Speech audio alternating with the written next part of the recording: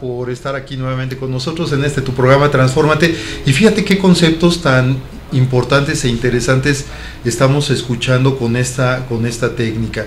Cuando nosotros la podemos poner en práctica y simple y sencillamente es darnos cuenta de esta parte, y se mencionaba desde hace un rato, esta parte de la autocompasión, pero la autocompasión no de pobrecito de mí. ok, sí somos seres que sufrimos, sí somos seres que pues tenemos que vivir circunstancias y acontecimientos de vida que nos permiten precisamente voltear a vernos, pero una, una autocompasión la veo yo como de aceptar esa parte de nosotros mismos, somos seres vulnerables al final de cuentas, eh, pero aceptarnos con el objetivo de que pues tenemos que salir de esta situación también. ¿no? Sí, sí, sí. Sí, y volviendo un poco al punto, esta parte de aprendemos, lo que comentábamos, muchas conductas de indefensión, que es uno de los conceptos que maneja mindfulness. Indefensión es, si tuve un padre muy dictador, un padre no formador, un padre que fue un padre agresivo, entonces yo crecí con no puedo, no soy capaz, no puedo dialogar, no puedo salir adelante, porque no hubo ese papá alentador. O un niño que es abandonado y le dejan hacer lo que quieran y como quieran, nunca supieron qué pasó. Entonces, sí de alguna manera, estas dos partes que las tenemos como hierro candente en el alma, porque no es así de que cambia, cambia, cambia. O sea, tienes que trabajar, bueno, ¿cómo puedo ese niño indefenso convertirlo en un niño más maduro, en un niño que se divierta de una manera más madura? ¿Y cómo puedo estos conceptos de indefensión trabajarlos? Porque a fin de cuentas fueron los recursos que tuvieron mis padres. No los puedo juzgar, así los educaron. Y yo creo que sí es importante esta parte de Perdonar realmente es aceptar a la gente como es, es también eh, decidir estar con esa persona, pedir perdón pero bajo reflexión. O sea, si nos, hay que perdonarnos toda la vida. Yo lo veo un poquito como esta parte desde el punto de vista teológico, de que todo el tiempo estamos crucificados, entramos a un sepulcro de reflexión y volvemos a resucitar. Tenemos un problema que nos está doliendo, estamos crucificados entramos a un momento de reflexión terapéutico con un amigo o con alguien más, un libro, este programa fabuloso de Álvaro, reflexiono qué está pasando y resucito para el cambio. Todo el tiempo estamos manejándonos en esta parte de el sacrificio aprender del sacrificio. En la película de Intensamente, esta película lindísima, quien salvó a la familia fue la tristeza. Cuando pudieron ellos, no, como todo estaba muy padre, a ver, no, estamos tristes, hubo un cambio de vida y gracias a la tristeza nos pudimos volver a unir, ¿no? Entonces, no es fácil, hay que trabajarlo, pero sí hay sentimientos y conductas de indefensión que nos marcaron y que tenemos que aprender a enterrarlas, a veces mencionarlas, pero no sacar al muerto, ¿estás de acuerdo?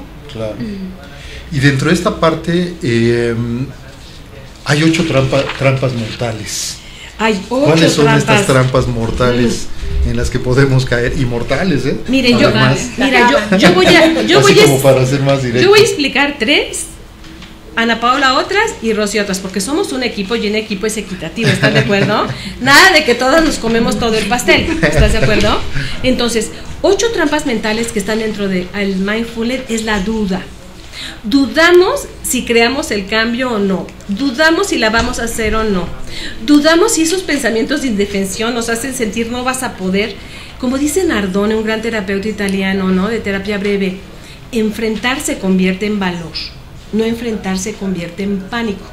Ya ven que hay cinco pandemias ahorita que, se manejan en psicología que son eh, las personas egocéntricas, narcisistas, las personas que son histriónicas, hipocondriacas y paranoides. Son los cinco. No son problemas psiquiátricos, son trastornos de personalidad que vamos adquiriendo según cómo se nos vaya formando nuestro yo, que es nuestro ego. Entonces, una, una de las trampas puede ser el no enfrentar, ay no, yo no le entro, ay no, yo no me voy a exponer, ay no. A veces tenemos que enfrentar, dar la cara y eso resuelve más que huir. No, yo no paso por ahí porque está el perro Bueno, pero si el perro está amarrado y tienes que volver a pasar donde está el perro, o decir, señora, voy a pasar, voy a agarrar al perro, porque si no paso, entro yo definitivamente a lo que es el pánico.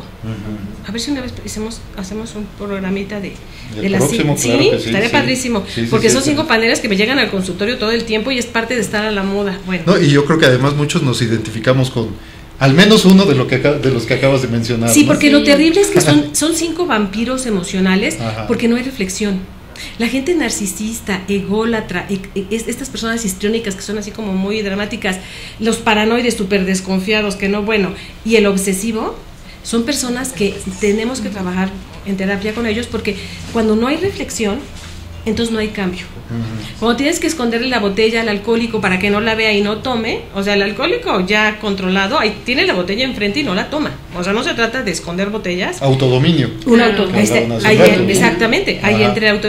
El vacío, estamos en un vacío existencial. Brevemente les digo que el vacío, eh, el vacío existencial es, como dice Eddie Fromm, el totalitarismo y el conformismo.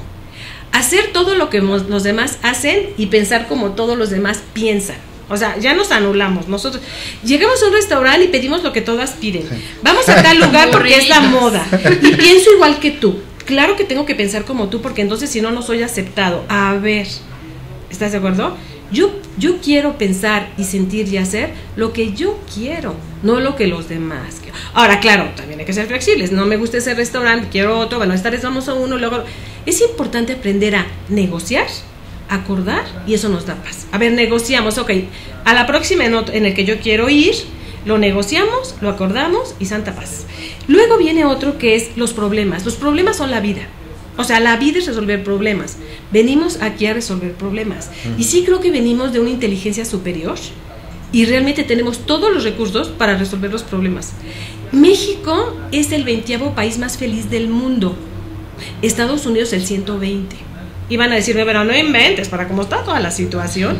¿Por qué? Porque tenemos redes de apoyo, familia, amigos, somos acogedores y, esto, y esa es la felicidad. Yo me regresé a Estados Unidos por eso, ah, aunque ya me arrepentí porque estás, bueno, ya no, porque no, pero sí, ya te pagan en dólares, pero bueno, el punto es, venimos a resolver problemas y enfrentarlos y resolverlos el tiempo que nos tarde, acompañándonos y no exponiéndonos de los vampiros que les platiqué, eso hace resolver los problemas.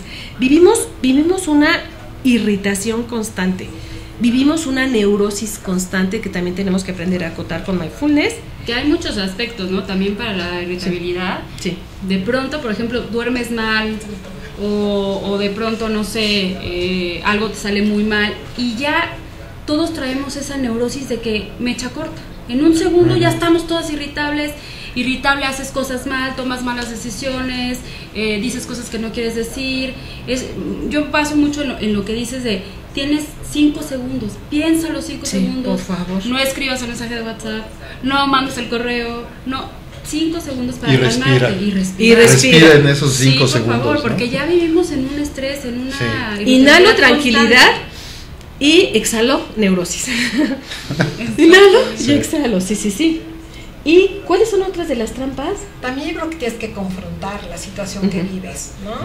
Y entender el estímulo que está llegando a tu vida en este momento y buscar estrategias bajo tus herramientas de vida y tus conocimientos, cómo poderla superar. Yo creo que también importante es en la vida tener motivación. ¿no? Yo creo que si hacemos cosas que nos motiven y nos den una importancia, muy aparte de nuestro rol como género o dentro de la familia, o a nivel laboral, hacer cosas como dice Ana, que te gusten, disfrutar la naturaleza, momentos con los amigos, con las amigas, para que todo eso vaya enriqueciendo tu vida y sea más, más placentera. Este, estar en este camino difícil a veces de que es la vida, pero con mucho, mucho significado día a día. Y en esta parte de la motivación yo creo que es importante mencionar de que nosotros nos motivamos solitos. O sea, no es de que me vengan a motivar, ¿no? o sea, la motivación nace nace internamente, ¿no? Lo que es difícil es que yo creo que ahorita todo el mundo estamos como enfrascados tanto en la tecnología que estamos perdiendo mucho esta motivación por estar con otro ser humano y compartir momentos, ¿no? Es triste cuando tú vas a algún lugar público y la familia ya no interactúa o los amigos no interactúan porque ya está todo el mundo con el celular agobiado, escribiendo, ¿no? Entonces yo creo que todos los días dentro de tus estímulos de vida debes motivarte hoy qué quieres lograr quiero ser más pasiva o quiero tener más cautela para poder resolver algún problema que se me presente en mi familia, en mi trabajo, con mi pareja. Y eso y teniendo una vida más cálida. Yo creo que en Mindfulness, con esta conciencia que nos brinda, nos va a dar una vida más cálida. El ambiente impregna mucha energía negativa, mucha tensión, pero si tú te, te, pones un equipamiento de tranquilidad, de conciencia, de motivación, de respiración, te va a dar otra visión de la vida. Y para eso es fundamental el darnos ese tiempo. Claro. Claro. Antes de dormir, unos 15 minutos de reflexión. Para estar con, o sea, con, con nosotros mismos. Luego a mí me funciona mucho cuando recién te despiertas, hasta te lo juro que hasta bañándome estoy como gracias por el nuevo día y como que estoy ahí poniéndome las metas de ese día, ¿no? O sea, la verdad es que sí, como que en las mañanas a mí me funciona más. Lulú Sigüenza, que estuvo hace ocho días aquí en el programa, nos comentaba, bueno, despiértate media hora antes de lo que normalmente te despiertas con el objetivo de que planees tu día, que programes cómo va a ser tu día también. Claro, claro. Sí, sí, sí, sí. yo creo que tenemos ese compromiso. Pero estas personas que tienen mal despertar, no les conviene esa media hora antes. ¿no? Entonces también tienes que autoconocer. a ver cuál es mal despertar. Estas personas que despiertan enojadísimas que no las puedes ni mirar porque están enojadas. Sí, sí, muy cierto. Entonces, que se duerman media hora más para que se les pase. En mi defensa es físico. ¿eh? Entonces yo creo que te tienes que conocer, decir, ¿cuál es mi momento de vida donde puedo dármelo como un gran regalo? Claro. Es en la mañana, es en la tarde, es en la noche, ¿no? Porque todos somos muy diferentes. Sí. Entonces sí, para que tenga una calidad tu momento de vida. Ahorita que mencionaste esto, recordé a un, a un matrimonio eh, amigos eh, que en una ocasión él, él decía, y, además lo decía muy seriamente, yo en muchas ocasiones, muchos días, despierto enojado.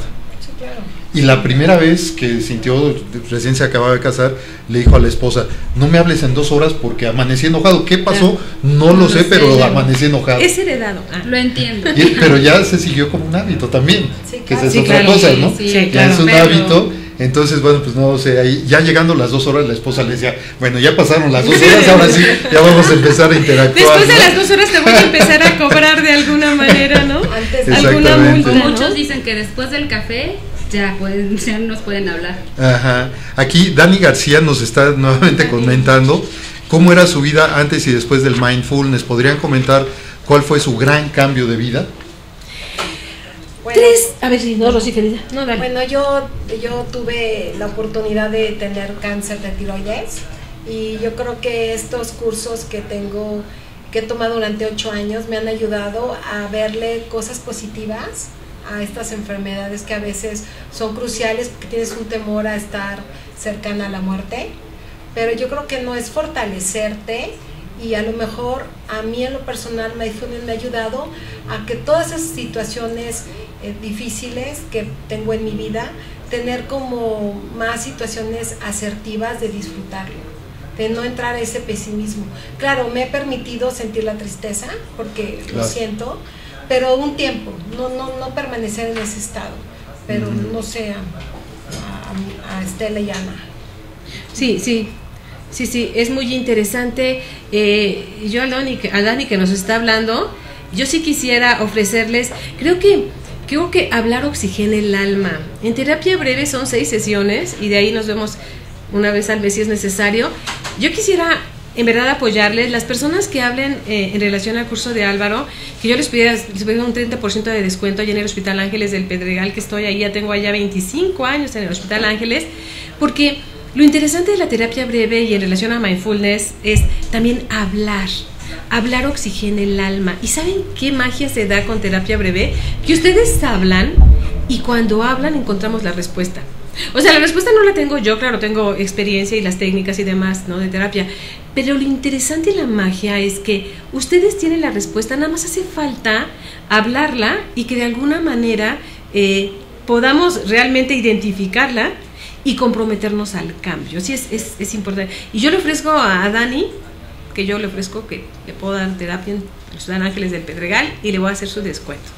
¿Sale? Porque habló y qué lindo que estuvo hablando, que adorado. Y a mí cómo me cambió, pues me hizo ser más consciente, eh, como que todos los días trato de, de sí enfocarme a esos puntos que hablamos para lograr la felicidad y me hizo eh, valorar muchas cosas, ¿no? De pronto estás en el tráfico y quieres ya gritar y ya te quieres casi bajar de coche, de pronto como que me cambio el chip y digo, a ver, estoy en el tráfico, no puedo hacer nada, no tengo un helicóptero, no, se van no están avanzando, disfrútalo, pon tu música, abre tu agüita, disfrútalo, o sea, estás ahí, ¿no? Entonces como que me ha ayudado a, ver lo bueno de pronto de, las cosas eh, diarias, a, ser consciente de que estoy, de lo que tengo y a tratar de ser como mejor persona, ¿no? Tratando de tener esa paz, porque si tú no tienes paz, no puedes dar paz a los demás, ¿no? Entonces, eh, eso, eso me ha ayudado mucho tener esta, este tipo de información, ¿no? Y conocimiento.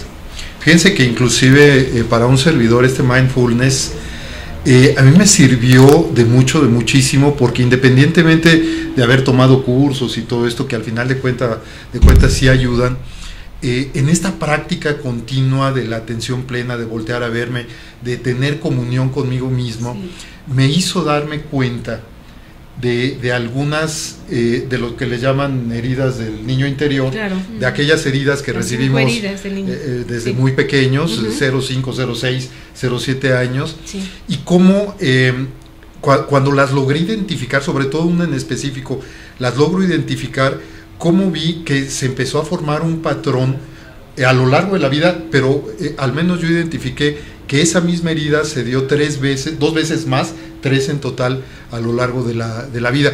Y eso me permitió empezar a trabajar sobre esa herida, empezar a aceptarla como parte mía y empezar a, sanarla. Claro.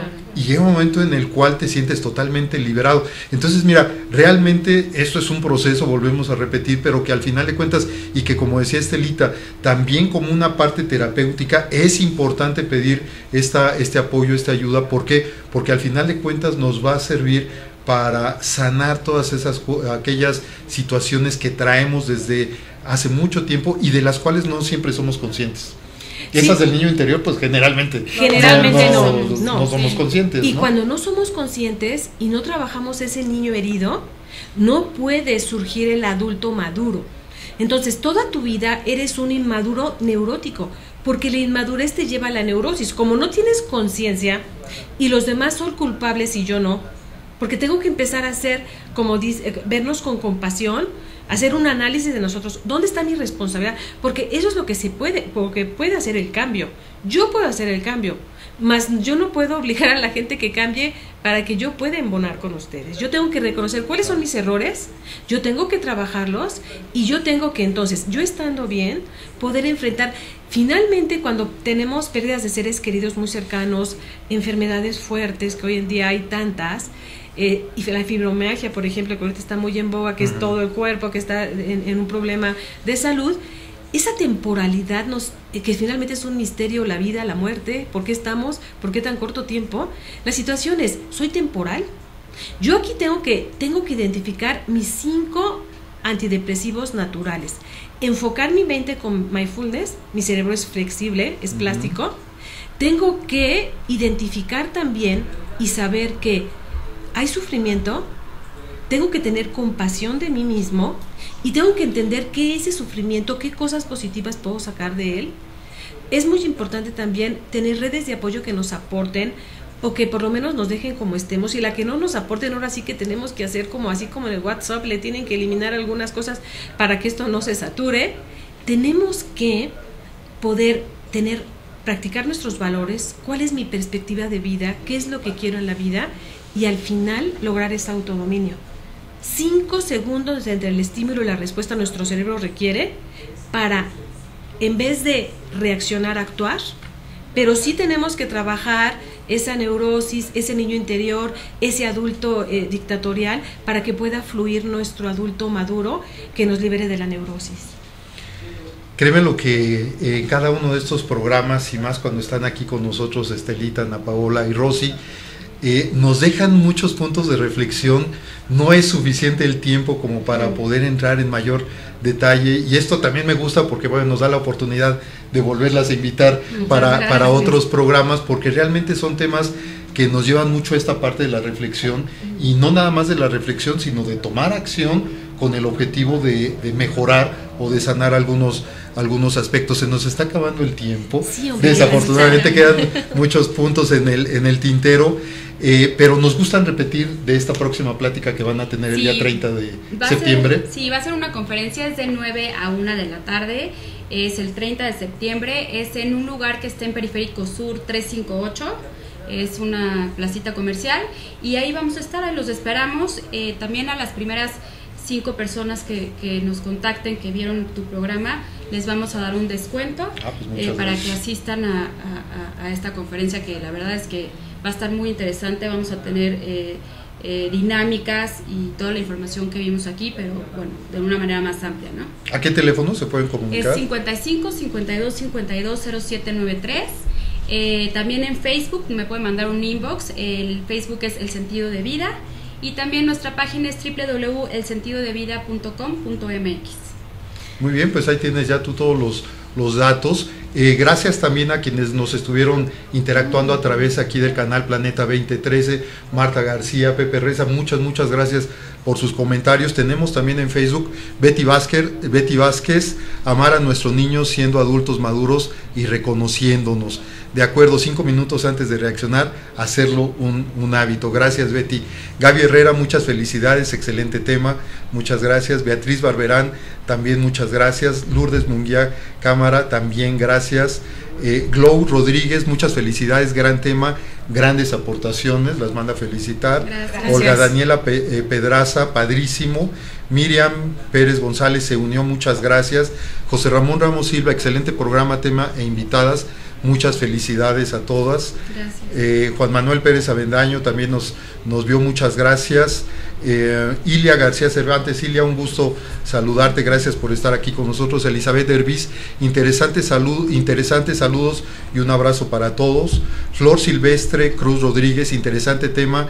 Felicidades a Rosy y a todo el equipo. Gracias. Diana Arzate Ochoa, muy interesante, saludos desde Chihuahua, muchas gracias por estarnos viendo desde allá.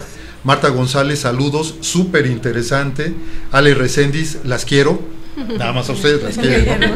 Qué bueno. Irma Álamo Pérez, muchas gracias por compartir. Gracias, Irma. Mariana Cid, muy interesante y necesario hacerlo. Y bueno, pues todos los que, los que estuvieron también aquí con nosotros, Patricia Pérez, Andrés Abel Falla, Elizabeth Herbiz, muchas, muchas gracias. Edith Aguilera Luna también, Dani García, que también tuvo la interacción. Pues se nos acabó el tiempo. Sí, se un, último, un último mensaje ya para nuestros. Yo estoy, yo estoy en el Hospital Ángeles del Pedregazo y Estela Recendis, en lo que los pueda ayudar, y más si vienen de parte del programa de Álvaro, vamos a apoyarlos con más razón. Y mi teléfono es 51 35 27 49. eh, y fue un gusto estar aquí. El tema creo que es muy importante porque tenemos que fortalecer eh, nuestro cerebro, unir nuestros dos hemisferios y seguir, seguir disfrutando de este maravilloso momento de vida temporal que, es, que hay que apreciarlo y que es un regalo de la vida. Muchísimas gracias por la invitación. Al contrario, Ana Paula, gracias. Gracias Álvaro y yo lo que les invito es que tengan momentos de felicidad y no sueñen con tener una vida feliz. Pues gracias, gracias nuevamente a las tres y yo te quiero agradecer el que hayas estado el día de hoy nuevamente con nosotros. Recuerda que tenemos una cita semanal. Nos vemos el próximo martes en este tu programa. Transfórmate el arte del cambio con tu servidor Álvaro Patricio y recuerda que la felicidad no se persigue, la felicidad se practica. Nos vemos el próximo martes. Gracias. Hasta Gracias. gracias. Hasta luego.